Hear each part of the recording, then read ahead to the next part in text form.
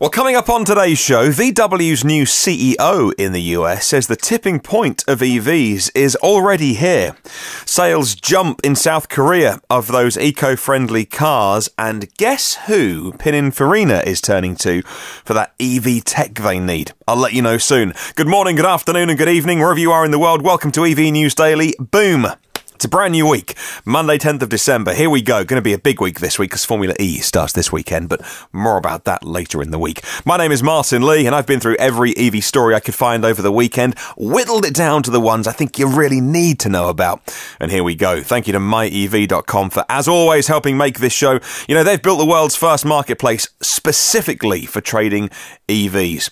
Do you want to buy an EV and you've been working out the best place to go? Maybe you've got one to sell because you're moving on, moving up maybe. And maybe at the moment you're EV curious, but you want to learn and research all in one place, myev.com. Now, some major executives at the big automakers still insist that EVs are years away from being the mainstream, and it's even harder to sell them the traditional vehicles with gas tanks and, and tailpipes. VW's American new CEO has done wonders with the Audi brand in North America, and now it's his responsibility as the CEO of Volkswagen of America to sell us EVs because that's the future of the company. He is definitely not one of those doubters, by the way. In a roundtable interview with Green Car Reports and some other news outlets in the last week at the LA Auto Show, details are coming through of what he said in these press interviews. He made clear it's ready for the millions of mass market EVs that VW intends to produce, and they're ready to go, according to Bengt at Green Car Reports. According to Scott Keogh, the reason that Tesla is at the top of the sales charts is that no matter what the price or the market segment, the automotive business is driven by what's new.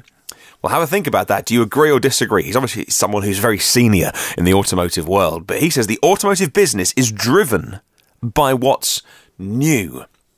That's kind of interesting thing to sit with for a little while. Well, let's hear from the man himself. Scott Keogh said this, and I quote, There's no debate. If you climb into one of these vehicles, it feels like you're driving the future. If you want to launch a marketing campaign, you want to target new customers, and it's the come drive the future. Well, a lot of people will listen up and tune into that. I've seen it with products. I see it happening here. I'm a firm believer, and the reason it's gonna happen is because they're going to feel like they're driving the future and driving what's next. And that is the universal truth of consumer goods. End quote. So he's really got his finger there on the pulse of what makes people put their hand in their pocket and pay $1,000 for a mobile phone, by the way. And that's interesting. A few articles over the last couple of weeks because I don't just, I'm not just fascinated with EVs, but I am kind of a tech geek, shock horror. I know you'd never guess, would you? And so I've been following the, the rise and rise and rise of Apple very closely. And then more recently, the, the wobble that is happening at Apple, Apple. And a lot of commentators and journalists are looking at the latest iPhones, by the way, and saying, actually people are no longer as fascinated with the new because there's just not enough new. The products are so brilliant that it's really hard to iterate on them and make something that's genuinely making people go, wow, I've got to have the latest and greatest thing. For instance, I always had, I know, I'm a sample size of one, but I digress. I've always had the latest iPhone. Apart from the first one, I, I came on board with the second iPhone. I wasn't there with the first one. I was on an, an HTC, like a, not even Android, like a Windows thing. And then I came on board with the second. I've been iPhone ever since. But my phone now is the iPhone 7 Plus. And you know what? It's good enough for me. Do I particularly want facial recognition? Nah, not really. Do I want a massive screen with the notch? Nah, not really. And I'm like a super geek and I'm not upgrading my phone, and that's why they're seeing the shipments of the iPhones maybe not in the the numbers that people are expecting. Anyway, let's get back to cars, should we? Hyundai and Kia and their eco-friendly range have seen a big jump in sales.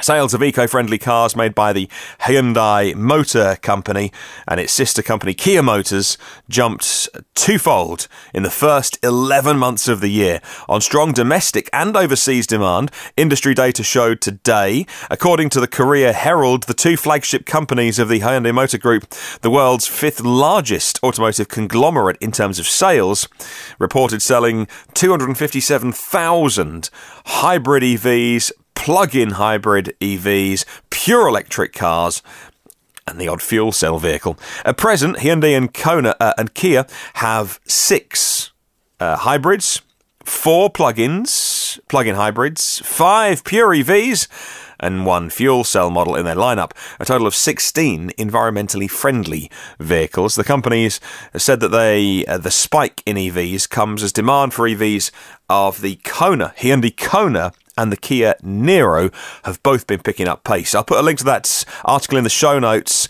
Today, I've been. Um, let's say sowing the seeds of the Kia e Niro uh, with my wife because I think that's a it's a gorgeous car and I always get in trouble when I say gorgeous by the way I, I, I call nearly all EVs gorgeous and then I get emails going it's not gorgeous it's not a roadster I, I, you know what I mean? It's a, like the range on the 64 kilowatt hour Kia e Niro is spectacular, and I would love one. And they're going to go on sale very soon, and I can wait till April.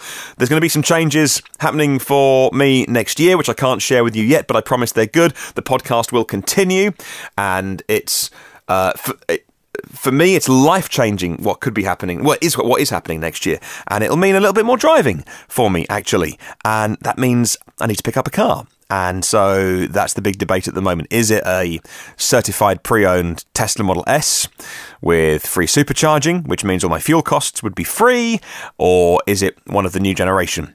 So I can't wait for Model 3 because the changes that are happening to me are going to be early next year, but maybe it's one of the other second generation EVs.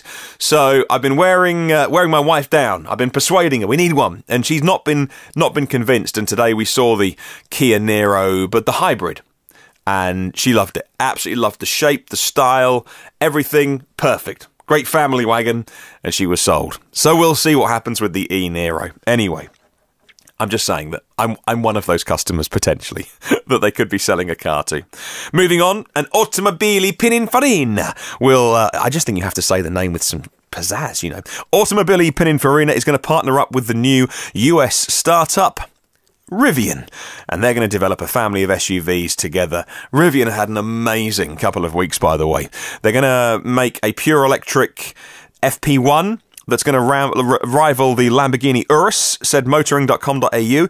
And according to Autocar in India, they broke the story two weeks after Rivian unveiled the R1T and the R1S, uh, the truck and the SUV. Uh, Pininfarina has switched technology suppliers. They were using Rimac and they're not anymore. They're now going to use Rivian for its SUV. Pininfarina believed to be well underway into the development of its, its PF0, and the company's um, wild pure electric hypercar uh, with the Croatian hypercar maker Rimac supplying the motors, battery technology, and control model modules. Look like that looks like that's where the partnership will be with um, Rimac rather than Rivian. So using both, but certainly not for the SUV, uh, using some of uh, Rivian's off road expertise they've been developing. Right, three more stories to go on today's podcast, and we'll start with some Elon Musk tweets.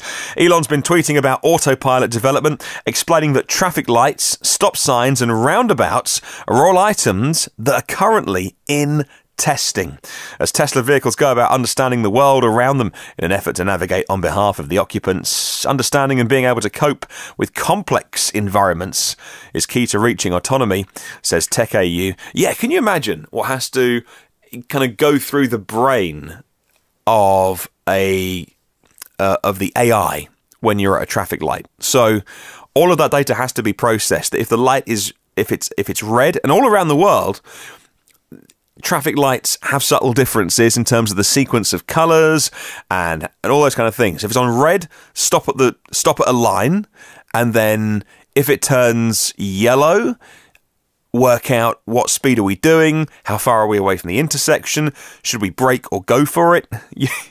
you know, all these things that you'll do as a driver and a roundabout as well. So you go to a roundabout with four or five exits and you get a roundabout with two or three lanes.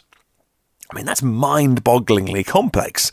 And it's in testing right now. It's huge. Uh, Elon said today on his Twitter account if you have a Tesla built in the last two years, definitely try and navigate on autopilot. It'll blow your mind. Automatically passes slow cars and takes highway interchanges and off ramps. Already testing traffic lights, stop signs, and roundabouts in development software. Your Tesla will soon be able to go from your garage at home to parking at work with no driver input at all. Full self driving option is required with the Tesla designed Hardware 3 computer. It's a simple plug in replacement for the NVIDIA version, which used to ship and does ship, uh, but it has over 10 times, 10x, the image processing ability. Well, moving on to a new review of the Audi e-tron, and three out of five stars is not what I would call a ringing endorsement. Evo slightly unconvinced with the Audi e-tron. Uh, they sum it up at the end by saying you'll pay £71,500 for the entry level e-tron, and of course you get the UK government plug-in grant for that. You can also do the 82,000 launch edition, which comes with lots of equipment and more bonus things as well. But that's 82,000. Starting at 63,500 is the Jaguar I-Pace, which can't match the Audi e-tron for practicality or space, but they say the I-Pace is way sharper to drive. Well, prices then rise to £74,500 for the flagship model in the I-Pace. What about Tesla? Well, the Model X and its distinctive gull-wing doors, seven seats, but the price, well, that starts at 79 here in the UK. It's by far and away the most expensive proposition than either of its smaller rivals. And if you want something with a motor in and some electric, well, the Porsche Cayenne e Hybrid is worth consideration. 27 miles of pure EV range, but you do have that 3 litre V6 petrol engine, and it rivals the I Pace as an SUV that's decent to drive as well. So they're saying the competition there for the Audi e tron is, in many ways, a little bit too good for it. If you want sharper handling, they recommend the I-Pace. Have a look at that article. I'll link through to it in the show notes if you're interested. And finally, today, one of these little stories that I love. I was tweeting about it earlier yesterday, and I just love these little tidbits of information that kind of come out of nowhere and you think, ah, oh, right, we know it's not going to change the world, but it's interesting to know. In a new series of tweets uh, on over the weekend, Elon was talking about some trivia with the company history. Faraday was actually the alternative name proposed for the company, not Tesla, Faraday. Uh, well, it was the alternative. They had a backup, if you like. Uh, it was before Tesla Motors was even purchased. Now, they purchased Tesla Motors' name for $75,000 a chap called Brad, Brad Stewart, had filed for the trademark Tesla Motors back in 1994, and he even maintained the registration of it all the way through until he sold it to Elon's company in 2004, according to Astro Jane at Teslarati. Also, in subsequent tweets, Elon was talking about the domain, which you, you remember teslamotors.com, and he wasn't keen on it and he wanted Tesla. And it took $11 million to acquire the domain tesla.com and 10 years of negotiation and $11 million to get tesla.com. A, a, quick search, if you do search Tesla, by the way, in the US trademark database, reveals hundreds of goods and services paying tribute to the genius of Nikola Tesla. Uh, and so many people use his name with uh, with with his uh, uh, association, as as it were. So interesting. By the way, also over the weekend in the interview clips that we saw, he was even they even asked him, "Do you prefer it Tesla or Tesla. And Elon does slip into Tes with a Z or a Z uh, a lot of the time. He, he, he slips into Tesla. And if I say it, I get emails saying that's not how you should say it. It's an S, it's a soft S, or a double S, it's a Tesla. So I try very hard uh, not to offend the hardcore fans. Thank you for listening today. Thank you to myev.com for helping us make this show and setting a brand new question of the week, which is brilliant when you think about it, because we've been setting these questions of the week all year, and now it's your turn. Here is your question from us to you as we head into 2019. What's on your mind? What would you like us to ask the rest of the audience? Question of the week next week. So, what would you like question of the week to be? Come on, give me your feedback. You can email the show hello at evnewsdaily.com and you can go online to myev.com, click on research at the top and answer on question of the week there on the discuss pages. And if you want to use the YouTube comments, you can do that as well. There are 131 patrons of the show who keep us going. Patreon.com slash evnewsdaily. That's P-A-T-R-E-O-N dot com. And there's been a rush lately on the $10 a month support. So thank you very much. Seems to be a very popular level. Kind of a posh coffee once a month you know, that maybe you'll support the podcast instead of treating yourself to a cappuccino. And by doing that, thousands of people around the world every day get to learn something a little bit, maybe be entertained, you know, a little bit, we hope, on this podcast, which you get every single day of the week, of which there are 321 shows online for free, wherever you get your podcasts from. If you want to subscribe, it means you haven't got to think about downloading it. You've got enough to think about, let's face it. Just hit the subscribe button on any of your platforms and you'll get it first and free and automatically. And in return, if you can leave me a little review, that would be amazing. Catch up on the social sometime today by searching EV News Daily. Do have a wonderful day. I will catch you tomorrow.